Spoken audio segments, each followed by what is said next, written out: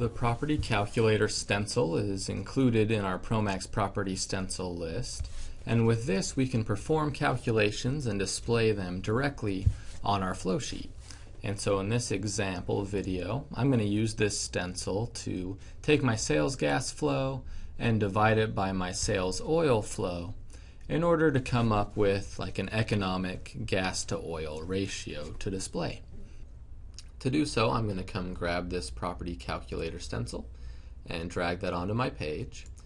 When we first drop it on the page, it will tell us that our variables are not set, and this is just meaning that we haven't set things up yet. And so to begin the setup process, I'll just double click on this box. After double clicking on the box, our editing window will appear. The first thing that I'll mention here is the white box near, near the bottom. This is where our variables are going to be stored.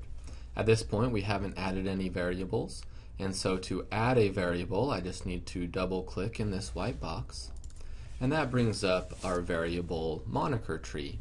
And so now I can open this to go find my sales gas flow.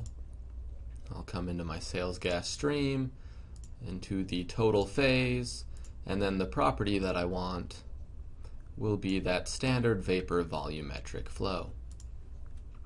Now that I have selected that variable, it appears here in my window. The default name can be changed by double clicking on that name, and I will instead call this my sales gas and click OK. From here, if I want to add another variable, I can again double click in the white space in the box and open up my moniker tree here once again and let's go find the sales oil now.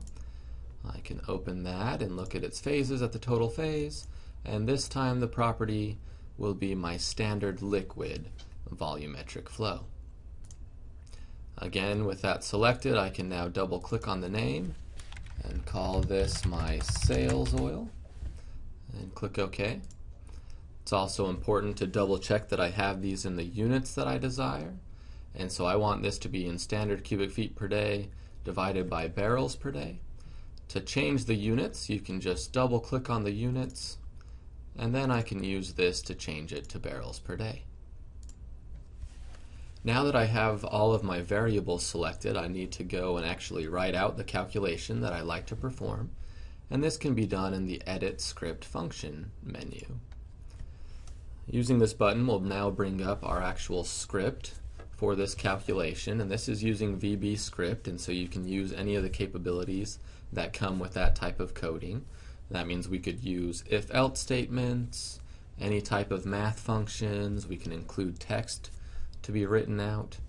In this case, it's just simply going to be my sales gas variable divided by my sales oil variable. Okay, so whatever is written in this MyScript function line, that's what's going to mm, display on our page, which will be this ratio. Now that I have the calculation set up, I can close this window.